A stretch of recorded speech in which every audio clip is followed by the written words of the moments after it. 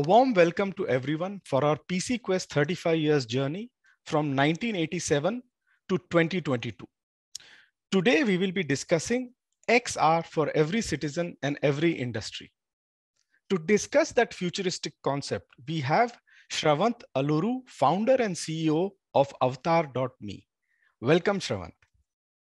Thanks, Sunil. All my pleasure so I, will I'll get straight to it. You know like we have titled it xr for every citizen and every industry because you know x xr is still not that a familiar term. You know xr stands for extended reality which is being used as an umbrella term for ar vr and mr so usually i think it would be better if you simplify these terms for the common listener before we can go forward.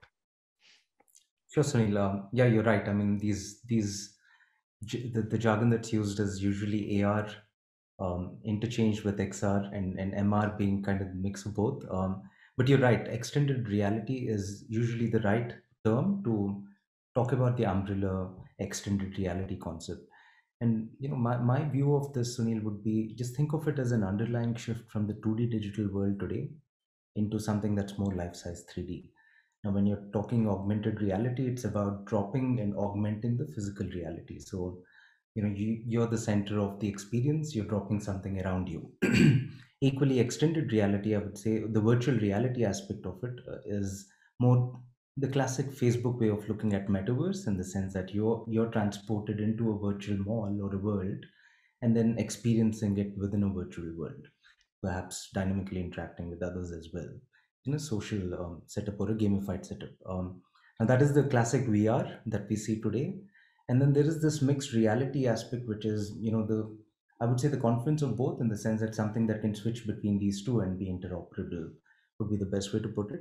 But in each of these, um, the underlying shift, I would say, is the native 2D formats that we see today, which are the digital web pages and the content on flat screens all of that shifting into a life-size 3D. Um, and I think that that's the inflection that you'll see next decade as we evolve in the sophistication in terms of hardware, which will which is needed to make the switch, equally software, which is going to be capitalizing on these new capabilities and building AI and computer vision on top that does things that we couldn't do yesterday. Um, but where I do certainly see all of this converging, Sunil, is what I call as a multiverse in the sense that, you know, if you were to think about Web3 and the common theme of decentralizing the control into the user's hand, think of, you know, the entire extended reality as an attempt to take experience and make the consumer the protagonist, right? It's equally about making the user the center of the experience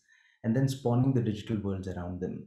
Um, so I do see them converging with Web3 and both of them together perhaps will make the entire system be user centric and empowering the users rather than the current way of a platform having the control. So, uh, that's that's very fascinating, and I'm sure it's going to be a very long journey to the you know multiverse. But the thing is, like uh, a day may come when you know you'll have enough gadgets and devices around you that uh, it, your whole world around you will be different. But right now, we are entering these realities just through a headset so can you speak about the possibilities and limitations of this headset that we'll be wearing? Yeah. Sunil, in fact, you're spot on. Um, you know, metaverse to me is at least a decade away. And, and that's primarily because we're not even in a headset era yet. We are, most of what we do at Avataar, or in fact is happening today in the 3D world, is on a mobile phone. The advantage is the camera on the mobile phone became intelligent and it had compute that got added with the CPU GPU improvements that we saw. And both of them together today allow us to say, drop um, furniture into a consumer space and help them look at their living space and how does it look before making the purchase decision. Um, that is honestly the utility value that we see today. There is also a novelty value that, that has been discovered in gaming, entertainment, media, and those industries we don't focus on it at a, from an Avataar perspective, but we've seen a lot of uh, action and consumer traction in those industries. But it's very nascent today. It's through a mobile phone. There's honestly no real headset of penetration that could be tapped from a consumer standpoint. So that is something that I think will happen as Apple brings their smart glass, which is announced to be next year. Uh, we've seen a lot of good traction with Quest 2, um, from Meta's side. That that's a device that has solved a lot of hardware problems that used to exist from a consumer experience perspective. But if you remember the mobile revolution, right? I'll maybe brought, drop the analogy to the to so and Sunil, you would have seen this in, in far more maturity than I did. But early uh, 2000s, if you notice, Windows Mobile was there, BlackBerry was there. They were touchless phones with physical keyboards that would come out, if you remember. Um, but you know, it was waiting for that moment of UX, which I think Apple iPhone did, post which it truly became a consumer phenomenon. Right? It was still an enterprise phenomenon before Apple entered the market, and that's where I see the market today. If you see what we're doing at Avataar, we're working with large commerce enterprises, bringing 3D to websites and making the same mobile phone literally a 3D device right? Uh, by the ability that you can now start walking around. I call it 2.5D because your screen is still 2D, but the, there's a six degrees of freedom in terms of you, you walking around, looking at an object. Now, the next evolution, like you rightly said, will be a headset. Um, now, I think it's very early to truly bet, Sunil, on which one will win the war. Uh, there's an AR smart glass approach, which is something similar to you seeing the physical reality and the ability to do digital overlays, right, um, on top of the shared physical reality. That is one approach. The other is a VR headset approach, which is saying that I'll transport you into a complete virtual world and you'll start living your existence within those. Um, and then there's the third aspect, which I think is the Apple strategy of saying both will coexist, but instead of one platform owning it, the consumers will start saying, these are what I want, right? So I could leave a sticky on my refrigerator for my wife to see a note and only share with her, which is virtual, um, or a, or a movie theater, for example, and think, use cases like those. So I, I actually see this evolution probably not yet reaching the point where we can bet which one will take over. If you were to believe in Elon Musk, this could be a chip in our brains doing a human computer interface. But I think that's the natural HCI evolution that we're seeing uh, Sunil, at this point. All the giants have literally announced their ambition to own that computing platform. And I've seen billions of dollars being invested into this over the last 10 years. So I think it's a matter of when rather than an if today. But which one is still an early early bet, so I wouldn't, so I wouldn't give you.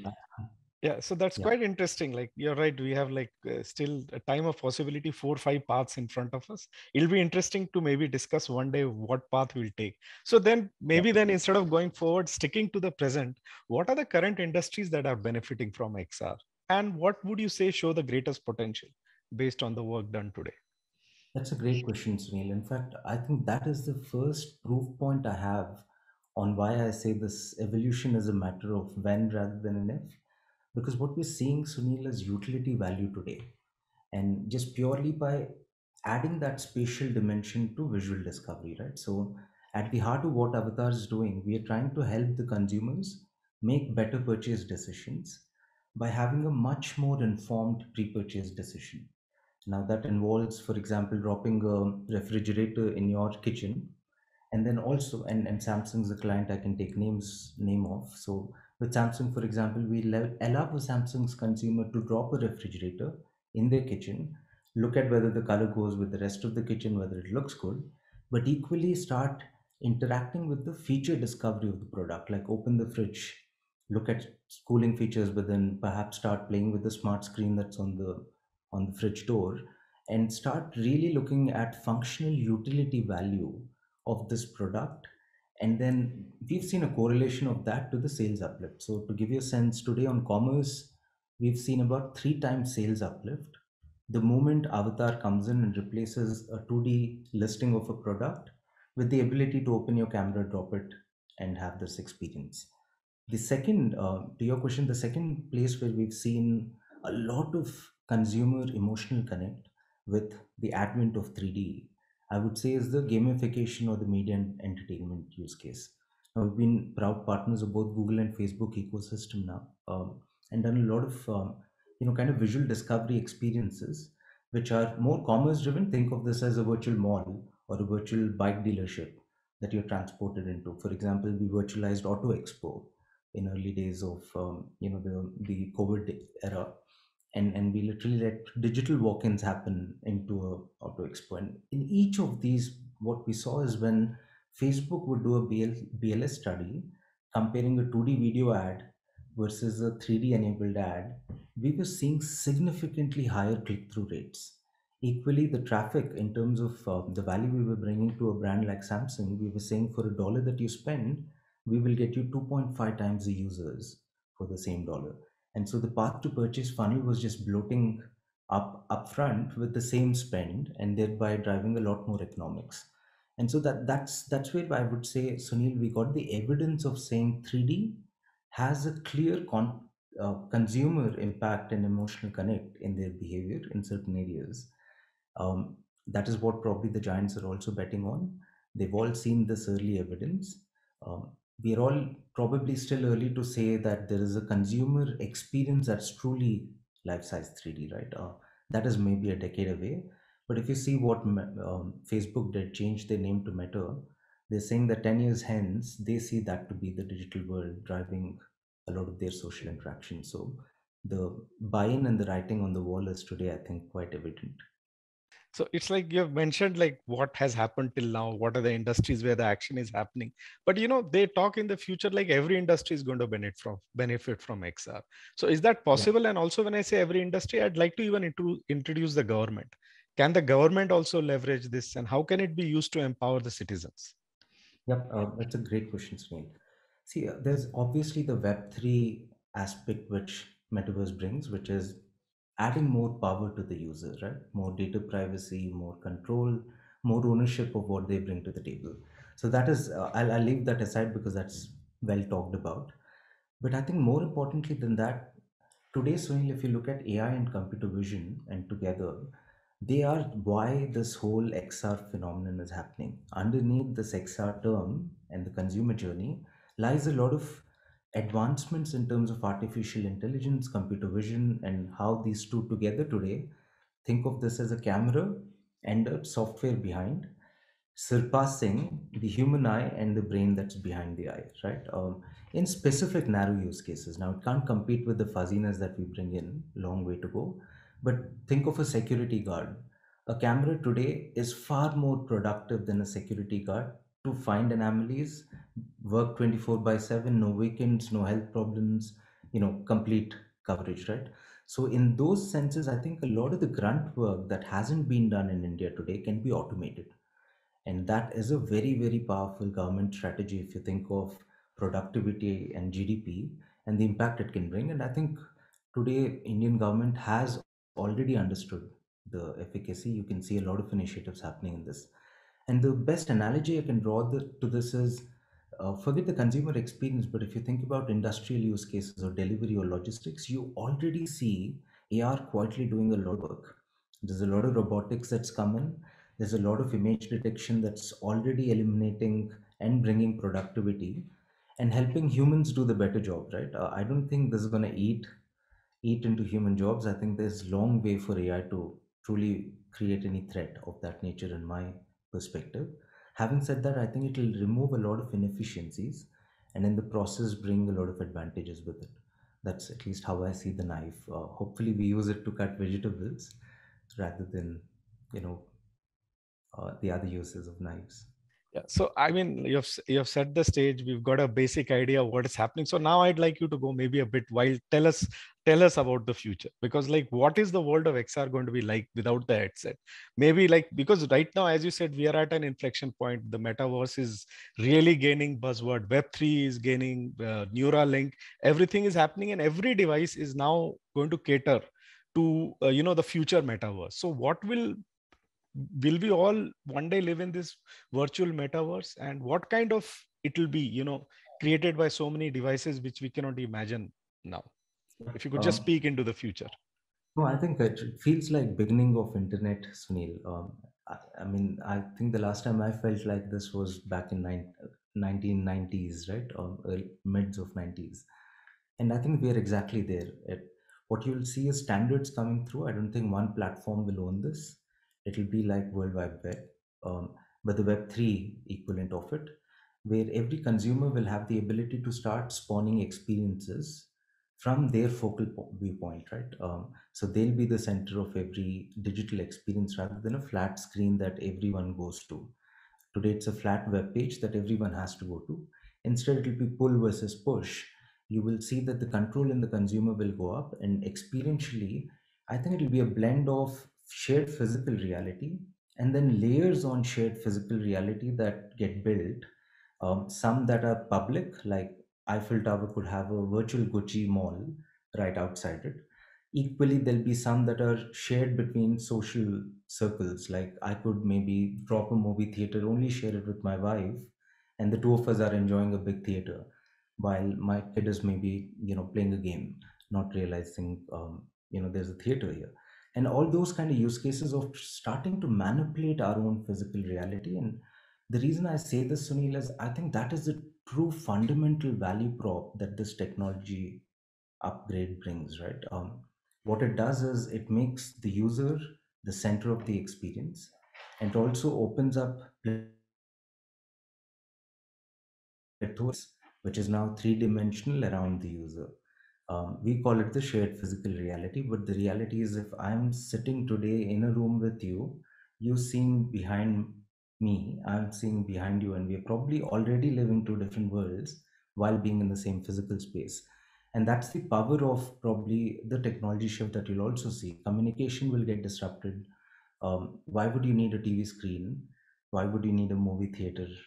Why would you need a lot of these um, you know even climate wise bad um, ecological decisions of materialism can be avoided by virtual overlays that are equally relevant for your sensory perception. So, what I, I truly see happening is a lot of efficiency through this in the sense that you're not now able to have a virtually manipulated physical reality which can be cut copy pasted like never before right? It's the efficiency of cut copy paste coming into your own shared physical reality which is i think is very very powerful. And it will manifest into early adopters looking like they're superhuman. Like the first guys who had the mobile phones with a 4g connection you know had google on their knowledge at their fingertips. Similarly what will happen is a salesman wearing one of these devices is seeing the linkedin bios of everyone who's walked into the room and has a lot more context about the person he's speaking with, right? And that's going to be superhuman compared to someone right next to him not wearing the glass. And so I think the same thing that we saw with mobile will happen with this. The moment the first true consumer experience of that uh, device comes in. Now, again, as I said, I can't bet which one too early, but I'm very, very keen on Apple's smart glass because I personally, if you were to push me to take a call, Sunil, on, on the next five years, I see an iPhone, uh, you know, already being replaced with a smart glass. I don't see it in 2023 like everyone's talking about. I see this about five years from now. But I think that would be a, the first tectonic shift of consumers shifting from these flat digital worlds into something that is the way we are talking today, the metaverse or the multiverse that I keep talking about. But I hope that gives you a little bit of sense on how I see this evolving from where we stand today. As I said, thank you. That's quite fascinating. And I agree with you. This is like the beginning of a new tech journey. So I think the last time we met offline, this time we're meeting on Zoom. Maybe the next interview we'll be doing it in the multiverse. So that would be really something. A very good one. yeah. So I'm looking forward to that. So thank you so much. It's it's been great talking to you. My pleasure, Sunil.